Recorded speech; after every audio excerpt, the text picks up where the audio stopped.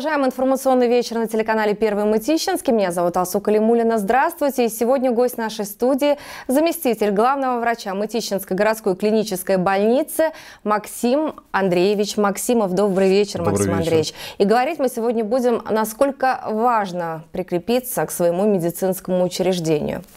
Правильно я поставила вопрос, Максим Андреевич? Вопрос абсолютно правильный. А, Прикрепление к медицинскому учреждению, а, которое оказывает поликлиническую помощь, вообще а, вопрос один из первых, который должен возникать перед человеком, который приезжает или живет в регионе. Мы знаем, что наш городской округ Мытищи расширяется, строятся новые дома, вводятся новые площади в эксплуатацию, и каждая новая застройка, естественно, получает с собой детский сад, школу, и люди, которые сюда приезжают, в том числе из других регионов, и помимо всех тех приятных хлопот, связанных с заселением на новую жилплощадь, с ремонтом, должны э, подумать прежде всего о своем здоровье в том числе.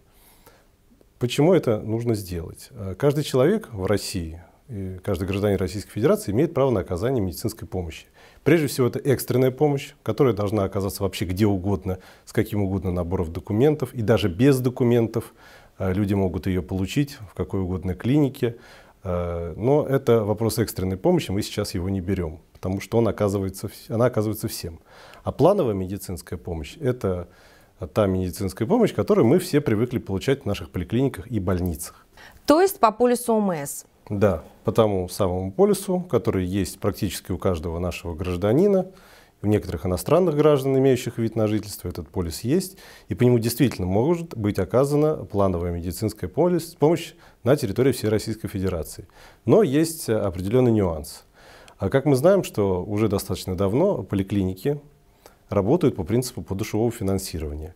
То есть для того, чтобы наши поликлиники получали за свои услуги э, компенсацию в виде средств фонда обязательного медицинского страхования, недостаточно просто иметь полис ОМС. Необходимо обеспечить прикрепление к поликлинике. Таким образом, Ну, те средства- давайте поясним, Да. да. то есть на следующий год закладывается какой-то бюджет э, в поликлинике, да, и чем меньше народ, тем меньше бюджет, правильно я понимаю? Все правильно. То есть э, мы постоянно расширяемся. Наш городской округ постоянно расширяется, вводятся новые дома. Мы об этом уже говорили. Но при этом зачастую э, многие граждане, которые приезжают из Москвы, в частности, э, дети взрослые покупают квартиры, съезжают у родителей, от родителей, они продолжают быть прикрепленными к тем поликлиникам, которые находятся у них на родине. Вот. С какими проблемами они могут столкнуться? Естественно, при вызове врача на дом, при э, том случае, если человек заболел, к нему придет доктор, к нему приедет скорая помощь, э, ему назначить необходимое лечение. Э, В случае новой коронавирусной инфекции, естественно, ему будут выданы бесплатные лекарственные препараты. Но дальнейшее оказание медицинской помощи, если человек примет решение не прикрепляться к нашей поликлинике, ему нужно будет осуществлять по месту прикрепления. То есть, когда ему станет легче, когда его состояние позволит ему уже выходить из дома, он должен будет поехать э, в свою поликлинику и там закрыть больничный. Ну, послушайте, это же, Максим Андреевич, это же сразу лишняя волокита и для человека, в том числе и для медиков. То есть медик должен передать информацию в ту поликлинику, где прикреплен человек. То есть это возникают сложности, ну, скажем так, у всех объектов этого сложного э, процесса. Сложности абсолютно у всех. То есть, во-первых, э, медик должен человеку донести информацию о том, что человек не прикреплен и не может быть здесь э, планово осмотрен. Естественно, у пациента в этом случае сразу возникает волна негатива. Как так? Я гражданин Российской Федерации, у меня есть полис обязательного медицинского страхования, я имею право а, получать помощь на всей территории России. Действительно, человек имеет право. Но если речь идет о плановой помощи, то есть о каких-то обследованиях, о каких-то диспансеризации, в частности, об углубленной диспансеризации, то здесь уже необходимо э, прикрепиться. Но, тем не менее, э, получается порочный круг. То есть э, люди не хотят прикрепляться к нам, хотят продолжать пользоваться э, услугами медицинской организации, и постепенно все это приводит к тому, что э, те, кто прикрепились, Не получают, Работ- не э, получают важную, помощь. нужную медицинскую помощь, правильно? и качество, и все падает у всех. А вот скажите, Максим Андреевич, какую-то аналитику проводили? Вот э, последняя перепись населения показала, что в Мытищах там примерно 270 тысяч, 280 тысяч человек да, проживают.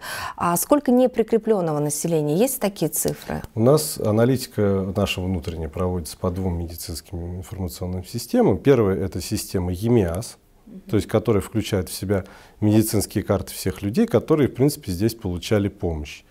А, их у нас около 300 тысяч. И есть э, фонд, который э, показывает нам цифру 250. То есть дельта на уровне 50-70 тысяч человек, которые с не очень понятным статусом, Э, она, к сожалению, присутствует. То есть 50 тысяч – это огромная цифра Огромная. На самом деле. Мы э, сейчас занялись этой работой и проводим просто выборочный анализ тех людей, которые записаны на прием к тем специалистам, которые не могут быть экстренными, которые принимают пациентов, которые уже к нам при, при, прикреплены, например, онкологи. То есть э, к онкологу человек э, в большинстве случаев это прикрепленный пациент – который наблюдается и находится на диспансерном наблюдении, либо у которого выявлено какое-то подозрение на заболевание. То есть среди них мы встречали а, людей, которые прикреплены там, к соседним э, городским округам. Это Лобня, Пушкина, Сергиев Посад, Балашиха и так далее. Э, выборочно я в том числе лично звонил этим гражданам. Они говорили, что да, когда-то мы туда разово обращались, но мы здесь, мы ваши и никогда э, не отказываюсь от ваших услуг. То есть, естественно, а, многие люди зачастую не знают о том, что они по каким-то причинам оказались от нас откреплены, потому что объединялись учреждения, сливались базы, а, накапливались какие-то ошибки. Ну, человеческий фактор тоже нельзя отменить. И в связи с этим мы приняли решение на уровне больницы а, немножко активизировать эту работу и провести выверку Э, наших прикрепленных граждан. Поэтому если кому-то поступит в ближайшее время звонок из поликлиники с просьбой прийти и прикрепиться, мы просим не удивляться, не э, думать, что не это какие-то да? мошенники. Угу. Естественно, не делать ничего по телефону, а пользоваться для этого только двумя официально утвержденными каналами. То есть первое – это прикрепиться через госуслуги, то есть так тоже можно, да? да? Не обязательно посещать да. поликлинику. Либо второй вариант, он более надежный, он более... Ну, проверенный. Ну, проверенный, это прийти лично с документами к регистратору, который при вас внесет ваши персональные данные. Хотя, естественно, госуслуги тоже абсолютно надежный вариант. Mm-hmm. Вот. И, естественно, просьба к, ко всем, пользуясь случаем гражданам, э, прикрепление – это услуга бесплатная, и никаких э, платных э, услуг с этим не связано, никаких денег за это никому платить не надо. Если кто-то вам позвонит и скажет, что нужно подтвердить прикрепление и заплатить деньги на какой-то счет, можете смело э, класть трубку, обращаться в полицию. Мы работаем за счет средств ОМС, мы прикрепляем людей абсолютно бесплатно, и мы призываем, чтобы люди это делали, подтверждали свой выбор медицинской организации и страховой компании, которая тоже должна относиться к тому региону, где человек проживает и застрахован. Ну а вот это взаимодействие со страховыми компаниями, оно существует? Ведь они тоже заинтересованы в том, чтобы прикреплялось как можно больше людей. Не вставляют ли они вам палки в колеса? Нет, абсолютно не вставляют. Э, страховых компаний интересно, э, во-первых, увеличить количество застрахованных лиц, а во-вторых, э, чтобы эти граждане прикреплялись по региону. То есть есть в законодательстве такой пункт, который говорит о том, что человек при перемене прикрепления должен уведомить страховую компанию.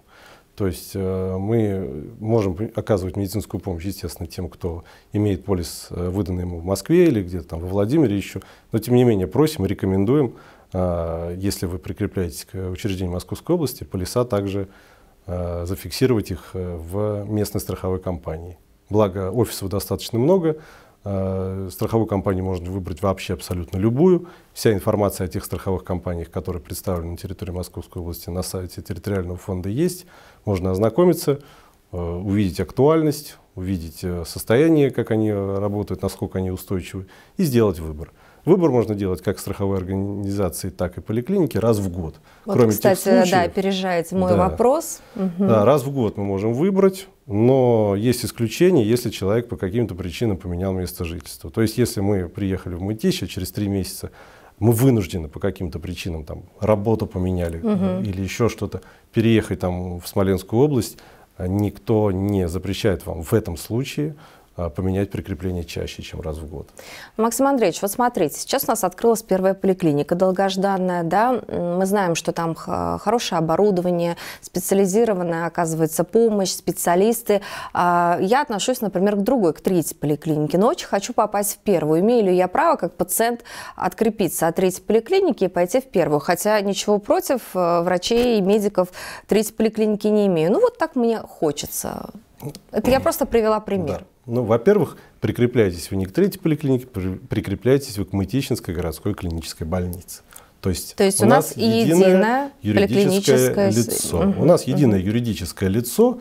То есть, если вы прикрепились к нашей больнице, это может быть Пирогова, Сухарева, Воровского, силикатная. Кстати, я все... вот об этом не знала, я думаю, что наши телезрители тоже. То есть, если прикрепляешься к МГКБ, в принципе, ты можешь получать а, медицинскую помощь и во второй поликлинике, и в Пироговской, и Смотрите. на силикатной, да? Да, есть э, специалисты э, нескольких уровней. Э, естественно, есть, все начинается от печки, от участкового врача. Участковый врач у нас всегда находится в той поликлинике, которая по территории.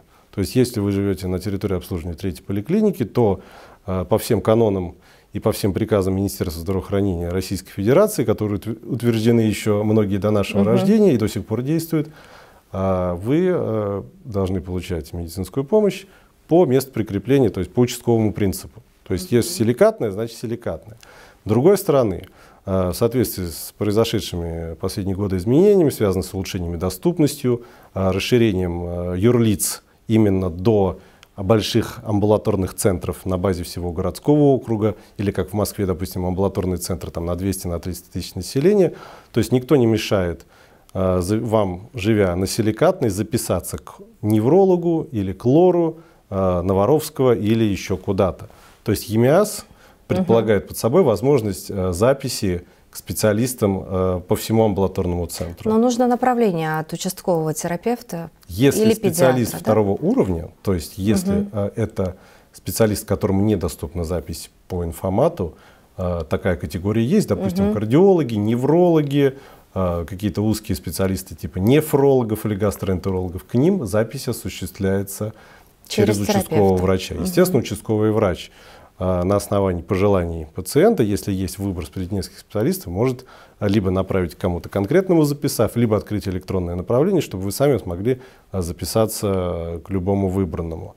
Если идет, речь идет о специалистах, которым доступна самозапись, допустим, это лор, э, там, хирург, уролог – то здесь э, вы перед информатом вольны выбрать любого специалиста где угодно. Максим Андреевич, к сожалению, время нашей программы ограничено, у нас всего 15 минут, но у вас есть возможность сейчас еще раз обратиться к нашим жителям. Э, уважаемые зрители, э, необходимо прикрепляться к поликлиникам, во-первых, для того, чтобы иметь возможность получать все виды помощи, которые имеются в арсенале нашей больницы, поликлинических отделений – во-вторых, для того, чтобы а, наша больница имела возможность получать финансовые средства от, а, для оказания вам этой медицинской помощи. Ну и в-третьих, для того, чтобы обеспечить нам выверку населения, мы призываем вас к тому, чтобы потратить немножко времени и подтвердить свое прикрепление к поликлинике либо через госуслуги, либо очно, придя к медицинскому регистратору на медицинском посту. Спасибо большое. Ну, я думаю, Максим Андреевич, что мы с вами обязательно еще встретимся перед Новым годом. Вы да. расскажете, как будут работать поликлиники в новогодние праздники и что делать, чтобы не заболеть и да. не провести да. а, все праздники длинные на больничной койке или в постели. Ну, а мы с вами не прощаемся. Смотрите «Первый Мытищинский». Берегите друг друга.